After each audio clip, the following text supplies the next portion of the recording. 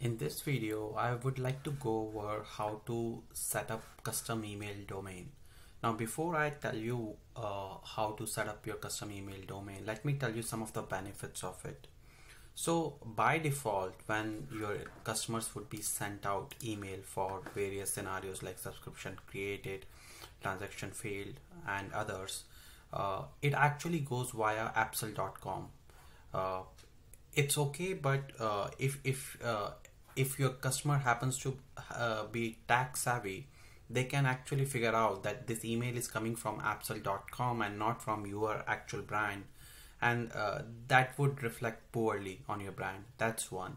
Second uh, there are a lot of services out there that uh, uh basically go over the email content and tries to match it with the uh, domain that's sending that email. And if it doesn't turn out to be same uh, it the deliverability of that email becomes lesser and it would there are chances that it would go to us to a spam email. There isn't much that we can do as a app developers uh, for such scenarios and frankly no app would be able to help. The best solution for such scenarios is, is that you set up your own domain. So now let me tell you how you're gonna set up your own domain. So let's say your domain is vedicapps.com let's i have bought this domain so i'm just gonna use this as an example. Now if i want to send email actually via this domain to my customers i'll create first of all a subdomain of it and I'm, I'll call it subscription.vedicapps.com. The reason I'm doing subdomain is because if you already have email configured via your domain, you don't want it to be conflicted with uh, you know uh, what you would be setting up here. So it, it, it's a better approach to just have a subdomain. It's still as good as your main domain and uh, but on top of it you would get all the stats for this specific uh, uh, for, for all this specific uh, subdomains separately and yeah so now let's go let's update it as soon as I'll update you would see that we provide you now instructions on how to set it up now each domain provider will have uh, basically these are the entries that you need to add it to your you know domain registry. As you can see right now it has this icon next to it which it's saying that it's not verified. We need to add it and once we add it then it would be verified. Uh, now we have given some of the popular uh, basically domain providers and what are the you know common instructions to add these entries. Over here we also have a very detailed instructions on how to go about uh, setting it up step by step for we have over here you have example for google domains here uh, as well as on if you have Shopify domain this is how it's going to be.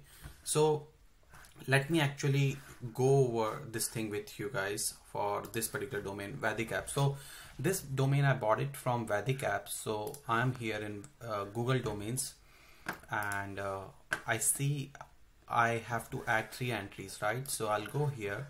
This is of txt type. It is subscription vedicapp.com so I come here. I do add txt over here I'll say subscription. And value would be this again notice that I'm just providing subscription here even though over here it says subscription.vedicapps.com because that varies from domain to domain domain provider to domain provider. For Google domains, you just need to provide the subdomain. You don't need to provide the entire thing. And that's why I have done that. So I have added it. And now if I do add, it's added. Now let's add another one. That's also TXT format. So let's come here, TXT and again I'm gonna take up to this part. And the value would be this entire thing. Again this is to vary from each domain all right so copy it from here itself from when you register your own domain. And this is add. So I have two. And the third is email dot subscription. This is the CNAME type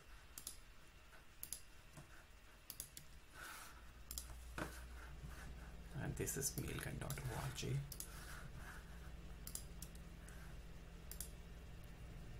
That's pretty much it. And it can take up to 24 hours. Uh, however, from our experience, it gets basically done within 15 minutes. Let's see if it's already done. Uh, it's not yet. Let's see.